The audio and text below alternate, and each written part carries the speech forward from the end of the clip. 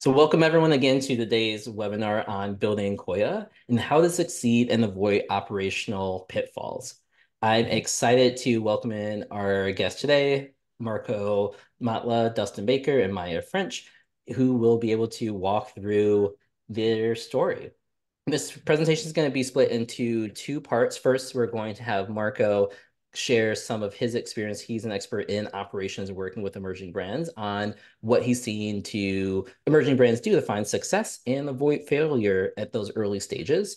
And then we're going to jump into sharing the story of building Koia with Maya and Justin.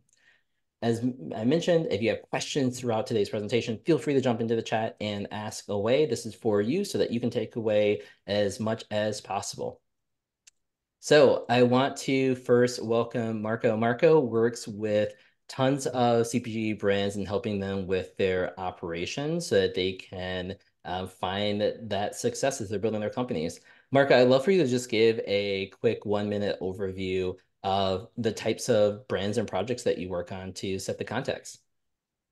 Sure. So, um, like Jordan said, I work with at JPG um, Resources, and you know we do all kinds of projects. Um, you know, I've I'll back up. You know, I started. I've worked half of my career in industry, half of it in consulting. So I've seen what good has looked like um, from those experiences.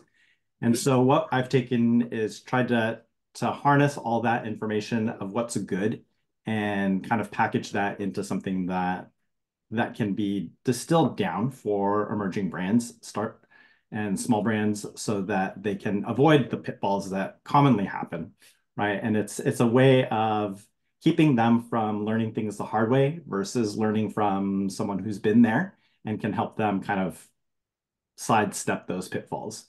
Um, so again we work with everyone from emerging brands to sometimes larger um, cpg brands. I work primarily in operations and supply chain. So everything from working with contract manufacturers, producing um, production schedules, helping them avoid some of the roadblocks that come along with that. Um, also leading a lot of S&OP um, implementations. Awesome, Marco. And I know you've seen a lot. We were chatting a little bit before this, and I was telling the story of my previous company, T Squares, and we made functional energy bars went from, you know, had no idea how to make energy bars when I started in the industry, had no food experience. And we went from starting in a commercial kitchen to moving to a contract manufacturer who we eventually realized the product would not work there based on their equipment. Brought back in house for a while, moved to another contract manufacturer that also didn't work and ultimately had to move it back in house. I'm curious to know what you found has been some of the keys to helping emerging brands build successful operations processes for their businesses? Yeah, so what, you know, what we typically look at is we make sure that you know, we can we can jump in and look at their process holistically. Right? What are the objectives that the founders have um, in terms of building their project?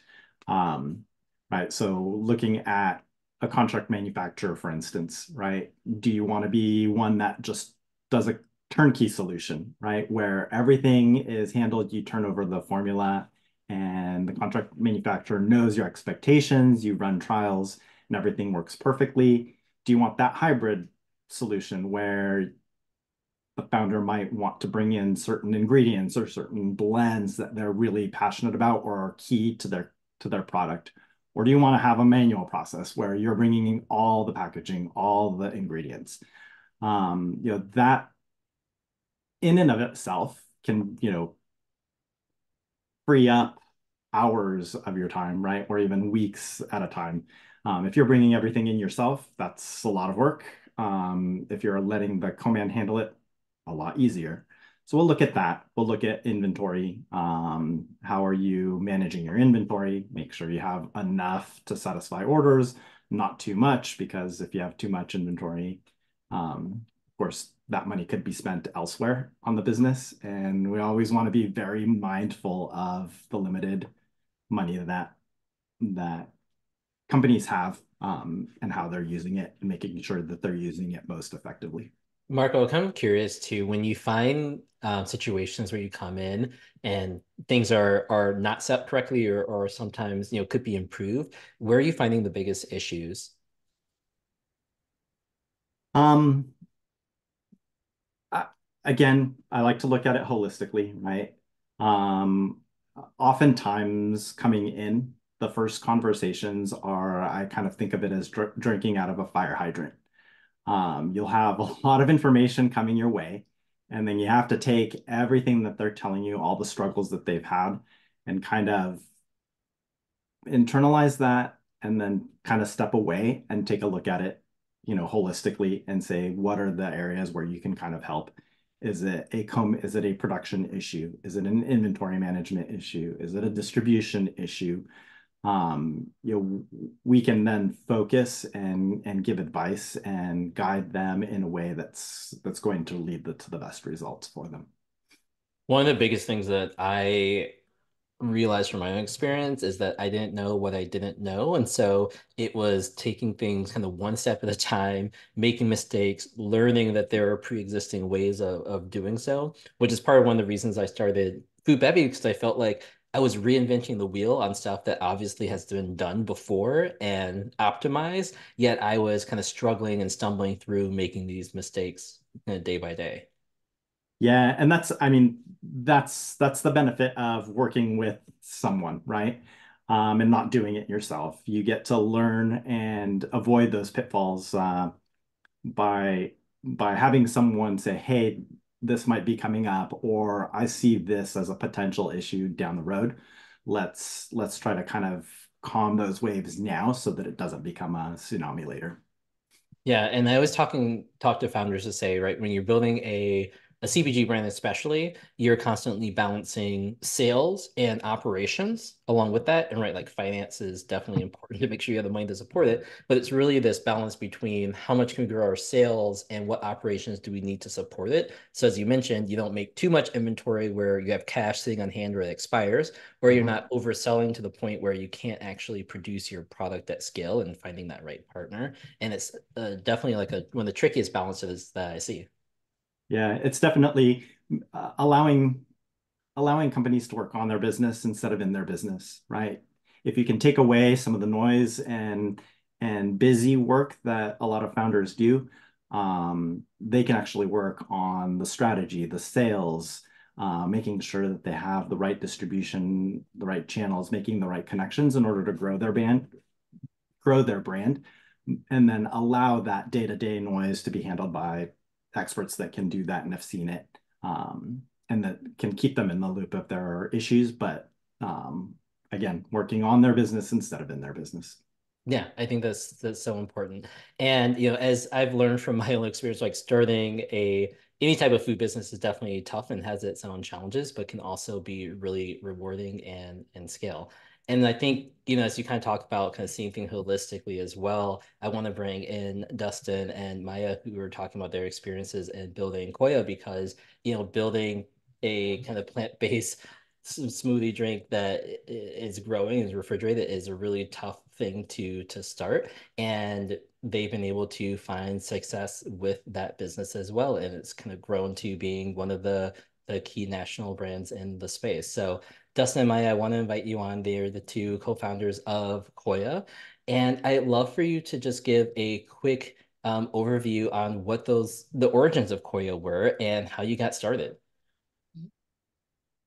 Yeah, great. Um, so um, Maya and I met in 2011, and um, after becoming great friends, um, we discovered that Maya uh, had was lactose intolerant, which is not incredibly uncommon as we know now know, but at the time, um, milk alternatives, dairy alternatives, this whole um, movement in the in the food culture um, had not occurred yet, and really it was just the players like Silk almond milk, um, Orgain. There was just like nobody out there really doing it in a big way. Um, so we saw an opportunity um, to um, put together um, this protein and milk alternative uh, product together having no clue that um, this segment, um, product segment, was going to take off in the in the way that it did. So uh, we have just been, you know, on that ride for some time now, and um, I I would also add, um, I think the the the best thing about that not having knowledge was we read a lot of mommy blogs and we were like, well, how do they make protein drinks? And we really set out to just fix everything that was wrong with protein drinks. I think as yeah. we were market testing and understanding what the other ones tasted like, uh, some of the problems that we saw were texture, uh, the grittiness of protein beverages, um, not having enough protein, so which made us look into alternative sources of protein that would be more complete and bioavailable, um, that wouldn't cause like gut issues or bloating, some of the things that I hated experiencing after a workout. Um, yep. yeah, uh, yeah, and I'd say like preserving the nutritional value. Um, so at that time, um, everybody was doing um Tetra Paks, which are the little cardboard uh cartons, like similar to milk boxes you'd see in elementary schools and we were really big into like the cold juice uh, movement that was going on. And so we didn't see anything like this in the cold shelf at Whole Foods, for example. And we're like, that needs to exist. Mm-hmm. Yeah, we we actually started off as a juice company, um, and that be that product it didn't fail, but it was it was too labor intensive, and the nutritionals just didn't make sense for what we were trying to do. Um, so we took a lot of nods from from creating the juice company and, and applied that to protein drinks, which made it stand out more on shelf because as you know, juices have all of their ingredients listed on the front of the label. That's something we also did with our protein drink. We we put all the ingredients on front. So some of the early iterations of Koia, which was Raw Nature Five, um, we had chia seeds in it. We had you know you know different types of proteins. We had cacao powder, and that was all listed. So it made it for a very easy decision for the consumer. Um, instead of having to turn it around, they just made a three second decision. And if they did turn it around it matched.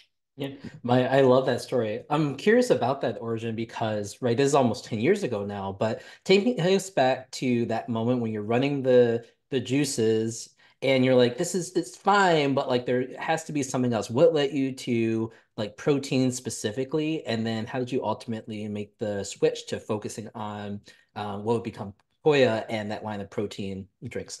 So I'm just gonna put it out there. that was my idea, and Maya was against it. Yeah, and I love literally it. what we did was we were about 40 stores.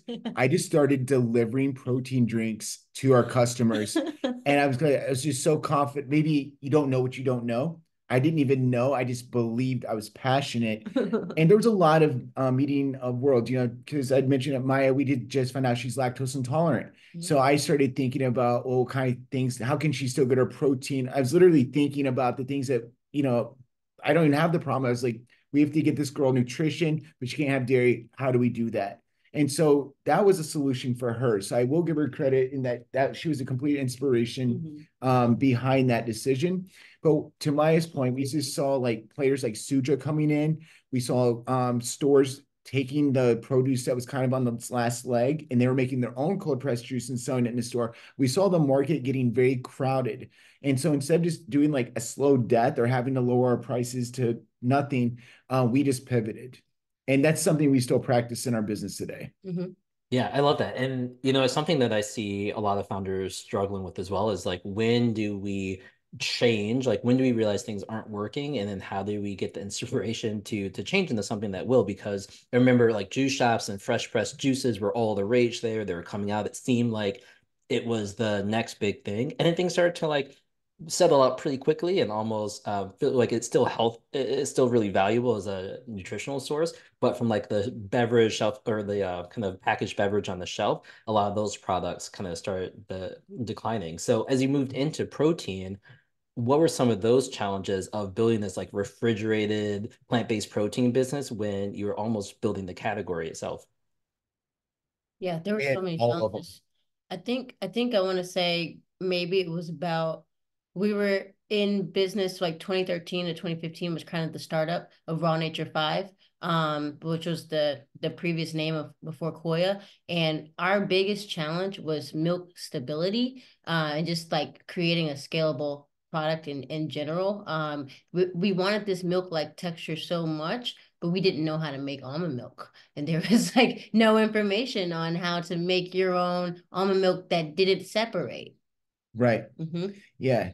So I would say had all the challenges. So I mean, I think this would be really important um, to the viewers is that it is great to be kind of like the first, like the pioneer of anything, because that's so exciting. And you know, those brands will exist forever. Like Red Bull stands out in the energy category just because they were kind of the first to market. But with that comes its own set of challenges, unique challenges. So you know, we were in Chicago. Um, we were at Purdue University using traditional dairy equipment to try to make a milk protein alternative uh, product. And so we didn't have the right tools for the job. Um, nobody really knew what we were trying to do. It hadn't really been done. People were like, "What are you? This doesn't even make sense."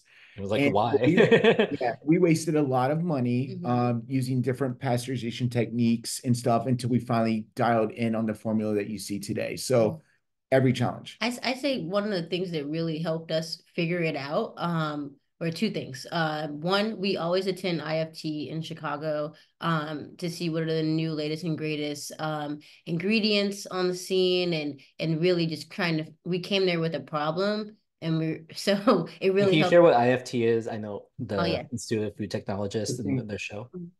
Yep. Um, so it's the um, it's an annual um, ingredient food trade show, and so you have um, ingredient vendors, you have new and exciting um, ingredients um, being displayed, and you also have food scientists everywhere. So all the formulators from different companies come to see what's the latest and greatest. So to Mai's point, Mhm. um, this we leverage this as a huge resource because Chicago is a food and beer town, kind of, you know, and no, where do you go to figure out how to make almond milk? And and so we started leveraging just industry trade shows. Mhm. The the other the other thing was leveraging our our network. Um, we had a few advisors who knew people, um, and so we ended up finding someone who had worked at what was it, Dean Dean Foods, um, and doing some work with him to kind of just understand the, the what would I say the biological makeup of just almond milk in general, and just understanding like what were we doing wrong in the process. So then, you know, translating that over to at scale when using the dairy equipment. And, you know, there might be certain steps that we just didn't think about that could be um, transferable from dairy to plant-based milk.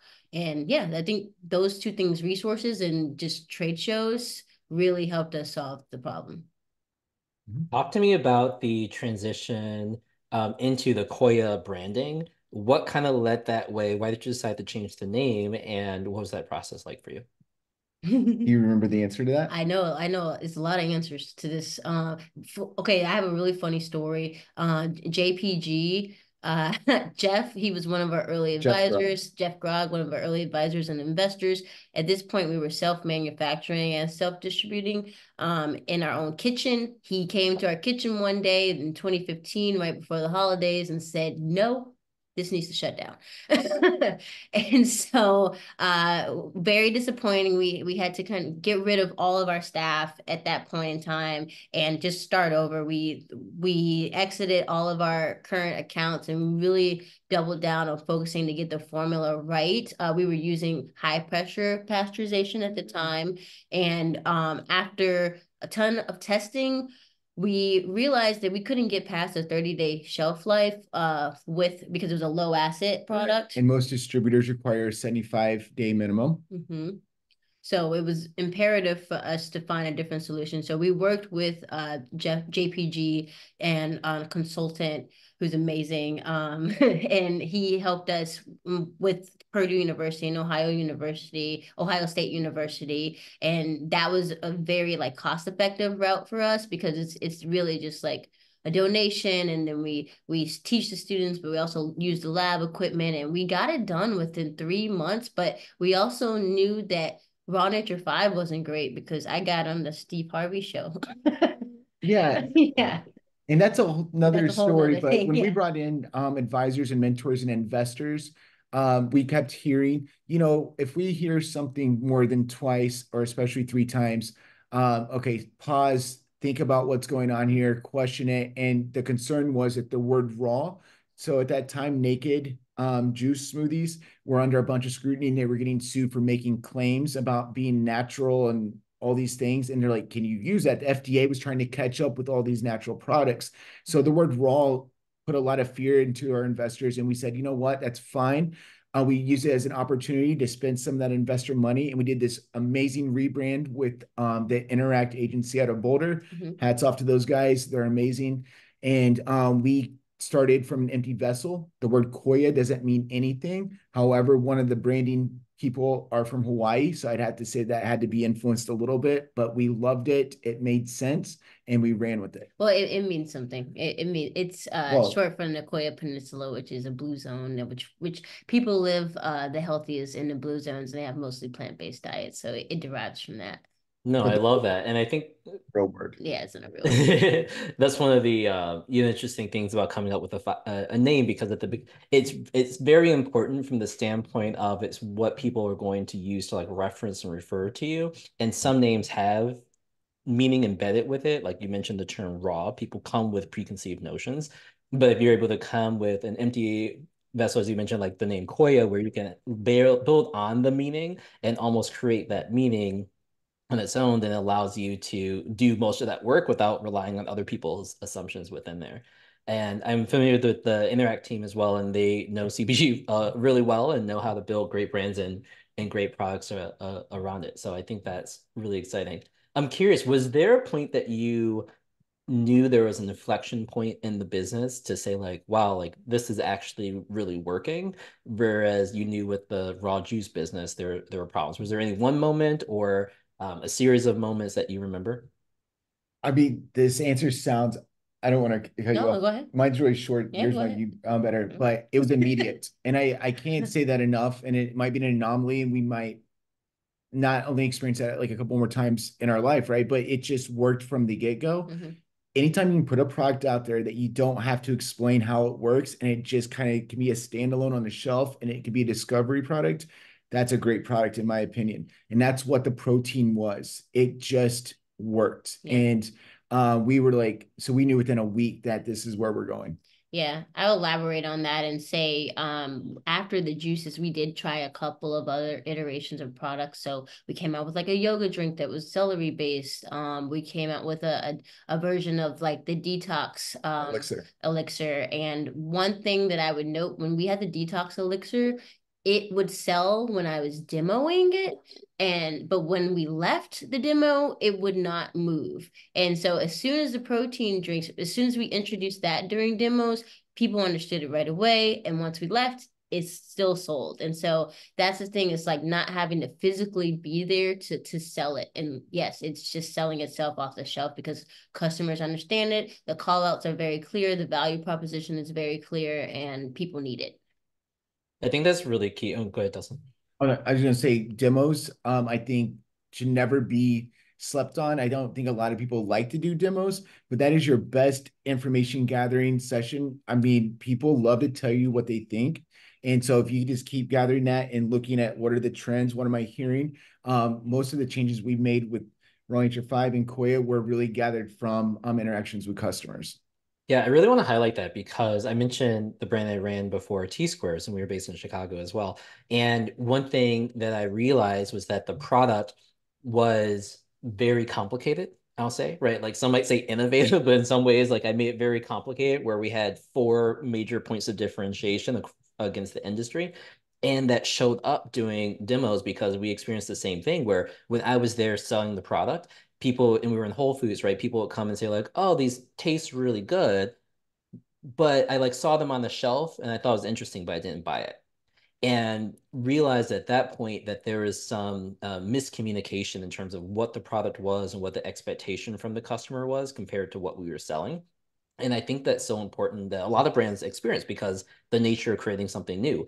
And if customers don't understand what your product is, or you have to spend a lot of time educating them, that's going to cost you a lot of money and a lot of money that's not really out there right now. And so I uh, compliment you on like actually listening to customers and being able to tell like what they were looking for and what they were not looking for. I know part of it is just through the iteration process, but the companies I found that have products that really take off fast, it is as you mentioned, like it's immediate. Like customers get it, they buy it when you're there, they buy it when you're not there, and they like truly understand what it is that you're selling, and the product sells itself. So I think that's amazing. Thank you. Um, I'm also curious in terms of like as you were building this, you had an opportunity to pitch to Whole Foods, right? How did that process go in getting into Whole Foods? Oh yeah. Well, people think it's overnight, right? And I'll let you. No, no, I'll you you win, too. But I will um start out by saying that we did live very closely um to the Whole Foods office of the Midwest in downtown Chicago, which helped. Um, but we got into a f- couple of stores. I think it was Lincoln Park, which is a high volume store, and then Lakeview. And we were relentless in performing demos there um to introduce the product to customers. And so, given that, we really focused on making sure we had really great sales, which made it an easier decision for them. So, I'll let you go into the actual like process of getting the Whole Foods Oh, national. no, you're doing a great job. No, no, no, because you went into the meeting. So go ahead. Yeah. Um, well, you know, some of that stuff, that was all of that we were actually advised not to start approaching Whole Food stores one by one because they like to do things by region, but we we did it anyway, right? We broke some rules. All right. Ask for forgiveness later. But we did get that national Whole Foods meeting, and that was because of um really just relationships, right? So um, we went to Expo West, didn't know what it was, literally had no idea. She just showed up there with some product in a backpack brand, right? Mhm, Product in the mhm. bag.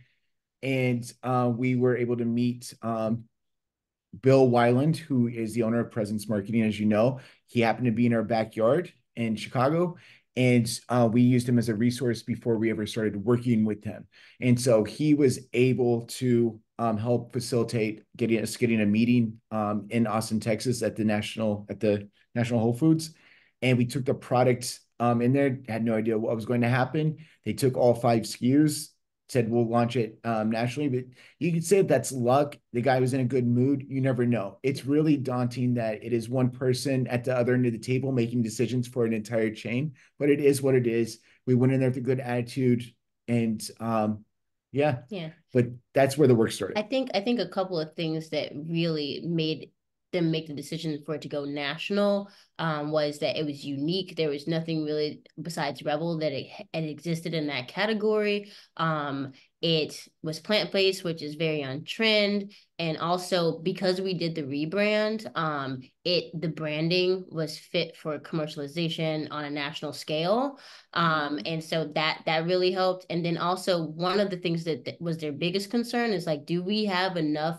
money in the bank to support a national deal? we did not. So what did you do, right? Because it's not just giving into all those stores, which is I, I feel like this is the the thing that hits every CPG founder. Like you get a yes from a big retailer, a big opportunity, you're like, this is amazing. You start celebrating, like, shit, like I have to make all the product, we have to support it nationally. What did you do after you got that yes? we just thought that would be a great problem to have. Like, well, if we have this problem, like somebody's going to give us money. Uh, you know, that wasn't necessarily that easy. It wasn't the case, but um, yeah, It was scary. Um, we had to like come up. We had like our manufacturing kind of yelling at us. He's like, "You got to come up with forty thousand dollars tomorrow." So I remember us like sitting on the bed, like trying to figure out how to get a, a loan, like a person take out a personal loan we just did. to get through the yeah the next tranche before we could actually raise money. Yeah, we ended up taking out. A but you know, Whole. Foods wants you to make promises right there on the spot. So Mhm. they're like, when you need to have product to us by this day, and you don't want to say no, right? You don't want to like mess this up. So uh, we had very tight uh, timelines, and um, yeah, we we got it done. I mean, something else too. I would I would note, which was like an absolute nightmare because we wanted to be very close to our manufacturer, so we we ended up moving. We sublet. We lived together at the time as roommates, and we subletted our place to move to LA on a moment's notice.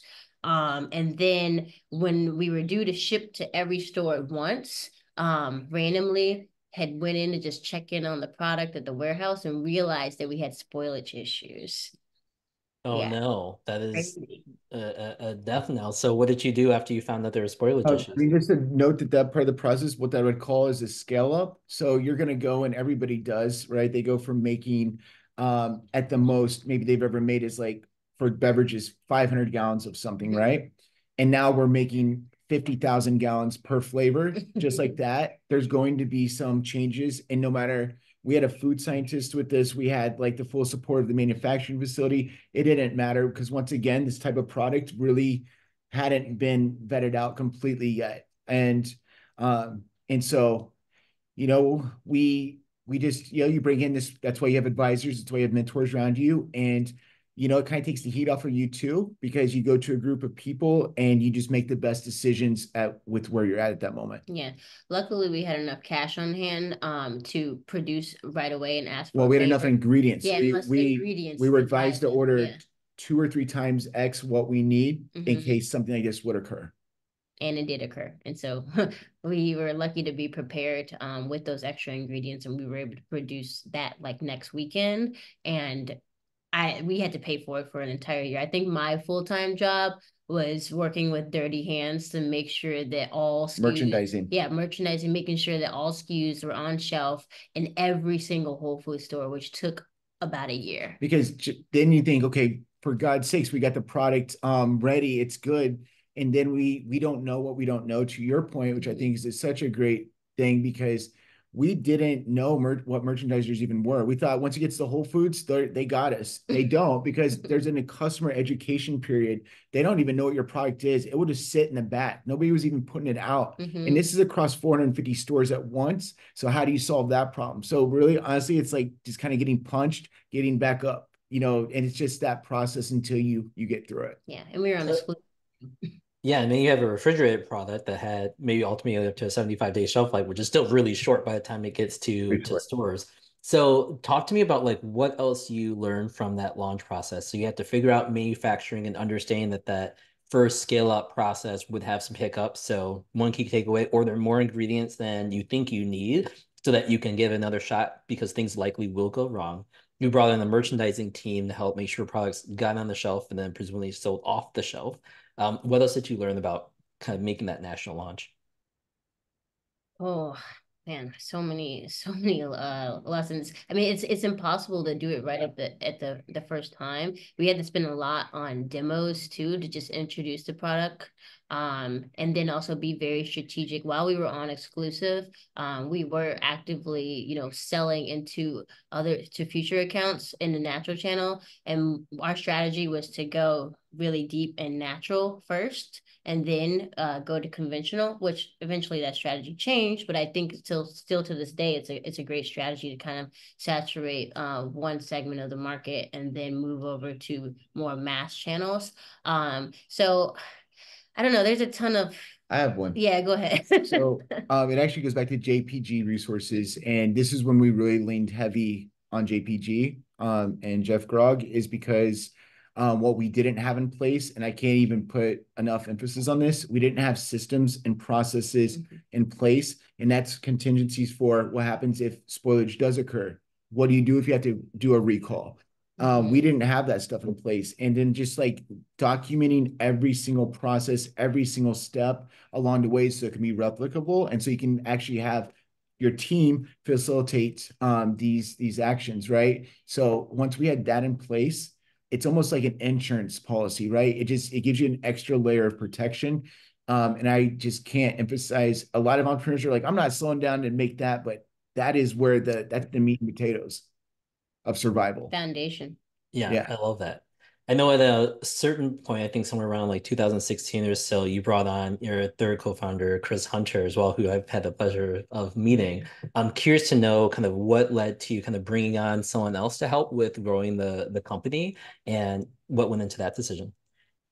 Yeah, so um, he was an early investor of ours, um, and he would advise us along the way. But when we got the National Whole Foods deal, uh, I think it was Bill Weiland and a couple other people. They was like, "Hey, like this is a really, really big deal, and you guys do not have the background or the experience to take this to the next level. Um, so you know maybe you should bring on a CEO, especially."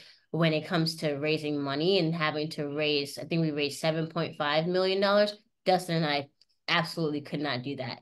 And a CEO's job is to raise money and consistently be raising money for the company. So we definitely needed the help and we're really happy to have him on board and to take on that that huge task. And also just what does it look like building out a team? Like how do you prioritize who you need? Like um operations was really huge for us. That was one of our first hires, um a controller, um, things like that we had no knowledge of. So being able to have someone kind of take the reins was super helpful for our growth. Yeah.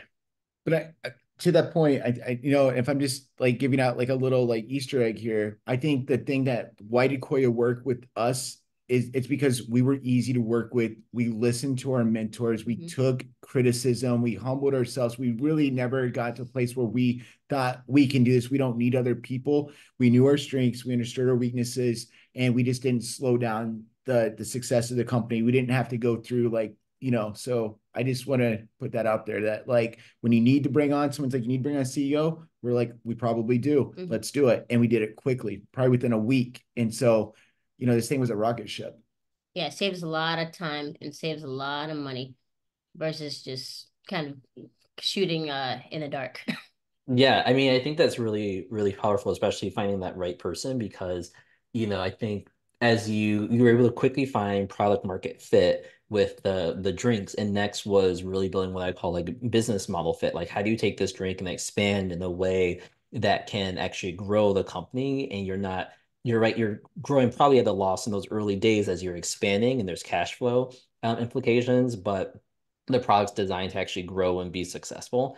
And you you mentioned around like actually listening to advisors and needing help. I remember like when I was younger at the beginning of starting T Squares, or something that I struggled with of having this vision as a founder and wanting to be have the products a specific way, and then running into um, issues with just like how customers perceived our products, how advisors were telling us to to change and pivot and thinking that like I knew what was best.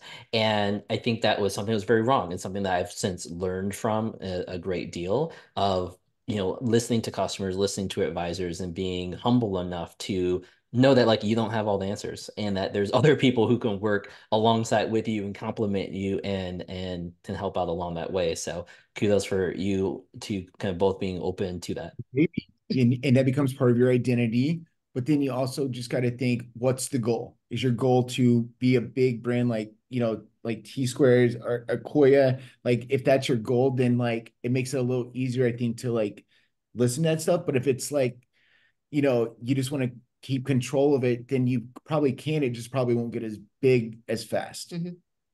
Yeah, having different limitations. So you two are kind of growing Koia. It's now, I think, in over like 20,000 stores or so. Um, what are you up to now? I know you're, are you still actively kind of running in the day to day of, of Koia or are you exploring other projects?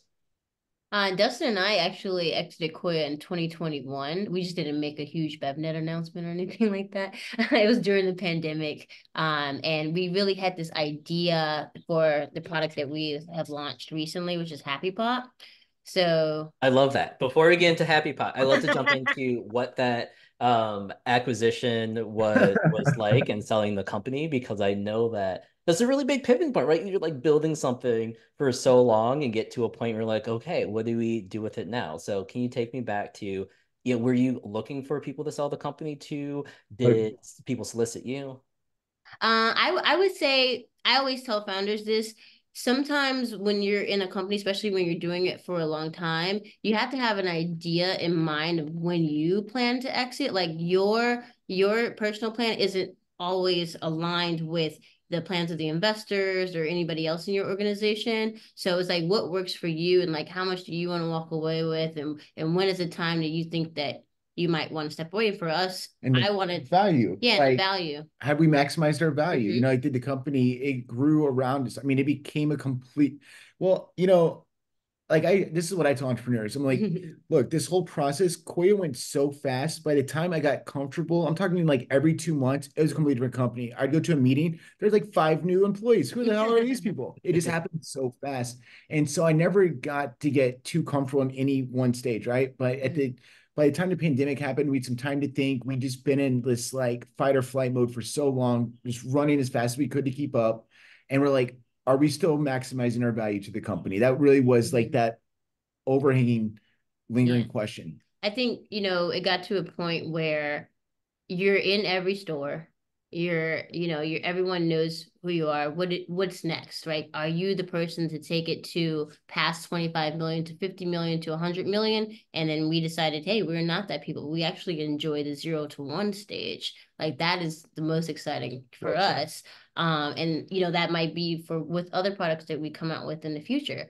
And so we um it wasn't like let's see we didn't ring any alarms but we did take a lot of time to think about it and had a conversation um and we it, it was hard to find because we were kind of in the middle right before another raise before a series b so that's really when you're right before another raise it's probably the best time if you're thinking of taking exit or taking cash off the table because there are investors that are actively investing that you could sell to as secondary shares um and that's exactly what we did but if we were to do it now, it could be harder, right? Because we're not in the middle of a race. So you have to like call up people and like, hey, does anyone want to to off, you know, buy some of these shares? And people might not be, you know, And you don't want to sound the alarms either, because right, that could be like negative. Like, why Mhm. are the founders selling their shares of the company? Yeah. Is something wrong? So you have to be so delicate um in that in that scenario too. And because we love Koia, we want it to be great. It's our baby. We want it, I want to see Koia on the shelves in 30 years still, right? Like Yeah. it's our like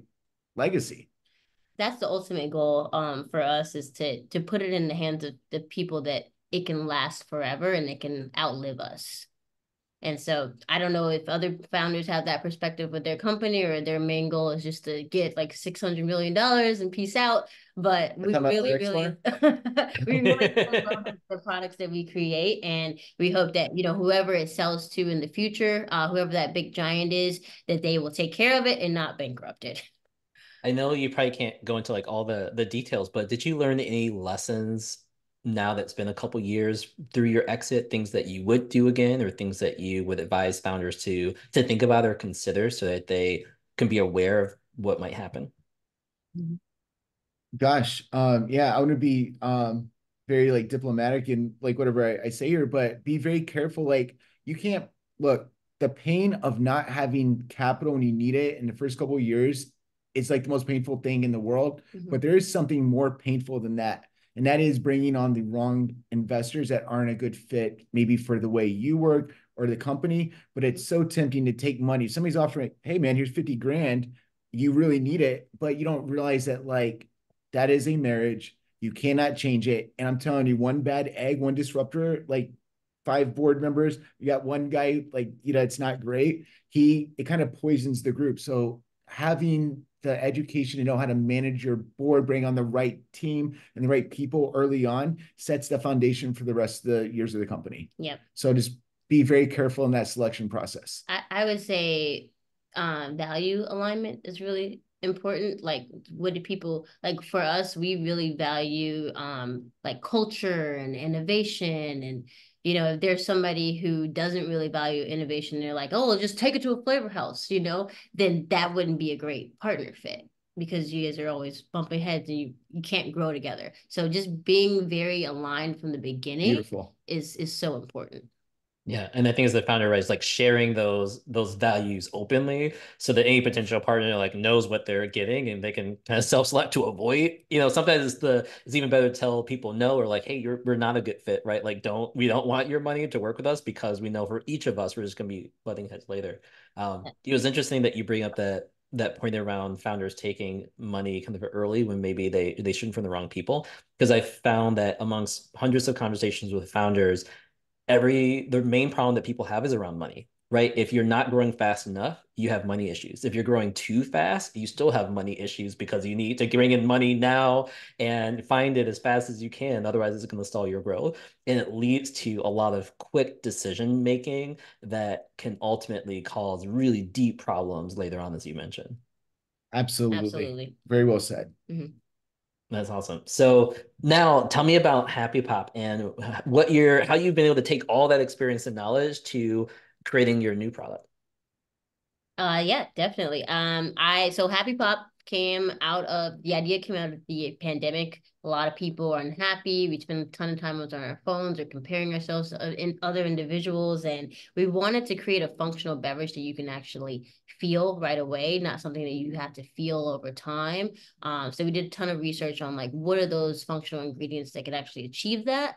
Um, like for instance, we did a ton of research in the cannabis space and went to different manufacturers and talked to different founders and realized that that was just a really uh, hard barrier to entry and just not really scalable or it would take a ton of cash. So what we landed on is a mood boosting energy drink. Um, mood boosting because we have an ingredient called mucuna pruriens, which um, contains L-DOPA. L-DOPA converts to dopamine in your body, has the highest concentration of L-DOPA in this one little bean. Um, and so we combine that with 100 milligrams of caffeine uh, from coffee beans. From coffee beans. Organic for a happy energy boost. And the best part of the formulation, because taste is always king, is we're not using any sugar alcohols or added sugar. It just comes, the sweetness comes or from artificial. Yeah. Yeah, it's all fruit juice and it's carbonated. And um yeah, with this we thought um yeah, we would take something and put it right at the same uh quality, you know, and value as as Koia, mm-hmm. and we didn't think anybody was really doing that in the energy space. So we yeah, I, I think I believe, and maybe you you believe this too, but there as the market becomes more and more crowded, there are still white space opportunities that exist within existing uh, spaces. So energy, there's many different types of energy. Uh, there's like performance energy, lifestyle energy. We're going for mood boosting energy uh, using this ingredient. And um, with when we create products, we want to create products that actually improve people's lives. Um, so just really quickly, I like to share this quote that I got recently from a uh, review. A review. Um, someone said, for the tangerine dream absolutely amazing my daughter who has anxiety has increased positive interactions with customers at work and i've noticed that my work commute is a lot easier to deal with i can't wait that is amazing to hear those benefits from directly from from customers and knowing that this thing that you're putting out in the world is having the impact that that you want. I'm curious to know with you know when you first started started the business, you realized it was tough to kind of find that product market fit until you moved into protein. Now with Happy Pop, do you feel like you found product market fit just as fast? How does it kind of compare to that journey of of Koia and what you're seeing? Yeah. I want you to answer this, but it's a great question. Oh, um, okay, I'll answer. It. So then uh, I think we went really, really bold with the packaging, of course, some in a way that's almost polarizing, eh, but it definitely captures your attention. Uh, we did have some issues in the beginning with just understanding how to really explain mood boosting energy. So we put functional energy, but we're also changing this. We worked with uh, Fred Harder Interact to redo this packaging. So now our updated packaging has a more prominent um, brand mark and it says mood boosting energy on it because what we, from our feedback, we realized that customers didn't quite know what the product was. They just thought it was cool. So they grabbed it off the shelf. Um, yeah, I mean, Maya and I pretty much made this, and we yeah. were so proud of it, and we wanted just to do what, like, honestly, Koia is a very we know who the target customer is, and it's it's a more conservative brand as it should be, as a very specific value proposition. We just wanted to have some fun over here too. Yeah, and we wanted that to be communicated to the to the end consumer as well. Yeah, so I I think um we're kind of using some of the same rule book. Um, we're able to move much faster given our um, relationships. Uh, like we're working with the same distributor, the same manufacturer, and things like that. But um, in a way that was different, I don't think we really, really understood true product market fit until we went viral recently on TikTok. Um, and that was through an accident, but it, it was like an, a blessing in disguise because we we started to see how customers were interacting with the product and, and what benefit that they received from it and which helped us change how we speak about the product and its benefits. Yeah, tell me about that because I think I saw that video where there's a someone who bought it that said erroneously that the problem contained kratom, right? Which it doesn't. uh, yeah, yeah. So they were like, oh, it, it, contains kratom, but there's actually this drink called New Brew which contains kratom. Um, but she, the reason she said happy, happy, happy is a happy drink. It made me feel happy, and you know, the first ten seconds of a video really captures the the consumer's attention, and so people started googling happy drink, and they were like, well, there's something weird in here too, and it Oh, makes happy pop, yeah. Yeah, and so I think what really, really got people going was the it's a brand fit. The brand makes sense, right? Um, the name makes sense for what the product does, and like all of that encompasses what attracts people to it. Yeah, are you learning too? Um, I'm just always curious, right? Like listening into how customers are talking about it on social to take cues in terms of the positioning language that you use and like what you call it. Because I know you mentioned like happy, but you talk about like mood boosting and functional. And I had a functional energy bar, so I know just how hard it is to really talk through some of those value props to to customers. Um, but I'm kind of curious, like listening to the, some of those conversations, if you've been able to learn like other things that they're mentioning. Yeah, before we we would hide the mucuna or the mood boosting aspect and really focus on the energy and just say, hey, it'll be a surprise and delight. But then as we were talking to friends and, and customers, they were like, whoa, this Mucuna is really exciting and interesting. Like I wanna, I wanna know more about it. And so we were like, wait, customers actually care about this ingredient. So maybe we should be really playing up the mood boost um, quality of it, which is why we changed from functional energy to mood boosting energy. I love that. Um, I know it's a little bit different way, but uh, Christopher had a question in terms of how different is your approach this time around, if at all different? I know you say you're working with some of the same distributors and retailers, but is there any other things that you've like changed completely in your process or how you're building the company um, this time around? Like we doing everything differently. Yeah, something same. Yeah. Brand first. I think this time, I think with Koia, it was very much product first, brand later. And this time around, it, it's just given the, how the landscape has shifted. Uh, we really spent a lot of time building a strong brand and strong brand equity. Um, and then uh, making sure that the product was just great tasting to fit along with that and just having a, a, perfect marriage and blend of it. Because you know if we could discover that early on it'll help out with like future issues. I think when we started to scale Koia and we were like well who is our customer and how do we like expand awareness? Um, and with this product it's, it's kind of like you use a, a trojan horse to to get in through the door and use that consumer to expand to other consumers. Awesome. I love that um, and then any other, and we're getting the last couple minutes here. So if anyone has any other questions for our guests, feel free to drop those into the chat. But through these 10 plus years of experience that you've had, any other takeaways that we haven't mentioned yet that you want to make sure to share with the founders who are listening into the call? Yeah. Um, so some advice um, that I received like back in 2016 as we were driving from Chicago with a U-Haul trailer behind our car to California. Um, I gave uh, Jeff Church from the CEO, previous CEO of Suja, um, a phone call, and he said he's a pretty straightforward man, and he's like, keep your head down, don't cause any problems, and work hard. And for a first-time founder, that was the best advice. Every time I thought about you know, like anything, I just thought about those words and I calmed down, you know, because it's very stressful, right? Mm-hmm. Um, being a first time founder. And so that's the um, advice that I would I would leave there. Yeah.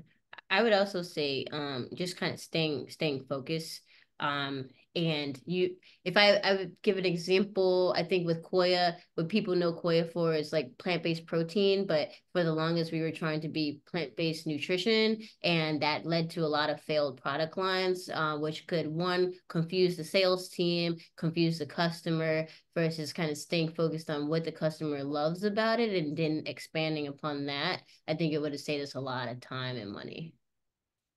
Yeah, I think what were some of those failed product line? I think you had like a energy line at one point, right? Yeah, it's like a co- like a coffee. It's kind of like, you know, don't chase what your competitors are doing and stay true to what you do best. And and don't we actually had this conversation yesterday, mm-hmm. Maya, so I think it's so important to bring it up. Um, so I don't know if you guys remember a couple years ago, Odwalla just announced they were going out of business. Yeah. Well, hey, it's not the wrong thing to think, but just applying only logic to business in this CPG space cannot can be a very bad idea. And so what we thought was all that shelf space is opening up. We ran as fast as we could to take that shelf space before Smails did. And that sounds like a good idea, but it didn't resonate with the customer. And smoothies. that was yeah, that's that was a discode line. And and so you have to look at it, it's not a one-dimensional, you have to look at the full 360 um, and actually make sure the customers, to point, listening to the customers, customers didn't tell us they wanted that product line. Mhm. We thought we knew more than they did. So always listen to the customer. And I think that's hard, right? Because I know in talk with investors, they're always talking about like, what's your platform? Like, what other products can you release under here? So it gets you think as an entrepreneur, right? You're full of ideas, and so you're like, oh, there's a you know, there's a dozen products that we could create under here. And sometimes you realize like it really is just about like that focus and consistency. So I love that. Um, want to get one question in from Drew. They asked, what is your launch strategy when you were new to market and new to a retailer? I know you mentioned the importance of merchandising and demos, but you could can you expand on like how you thought about trade spend, demos, promotions as you're launching? Yeah, um, let's see if I can give an example. Like when we had launched it to Whole Foods, we we had a plan to just like get a lot of like inf influencers on board, people just energy around the product, uh, get investors and and key people just talking about it. Um, we we did a little PR. Uh, we definitely knew that demos was important. So for beverage, just like cans in hand is like the most important thing. And then also making sure that you're spending your dollars closest to the point of sale. Um, it's because a lot of people like to do an event out in Miami, but you're only sold in Los Angeles, you know, things like that. So just making sure you're being very strategic with your um spend and that it's supporting those retailers if you're only in retail. Great advice. Maya, Dustin, and Marco, thanks so much for joining today and on the webinar. Really great feedback and great comments and learning from your stories. So as a reminder, this webinar is recorded. We'll be sending this out um, in the next day or so to everyone who was able to join. Thanks so much for the great questions. I see a bunch of thanks yous in the chats and good luck. I'm going to be continue to follow Happy Pop to see where your journey leads next. Thank you. Thanks, everyone.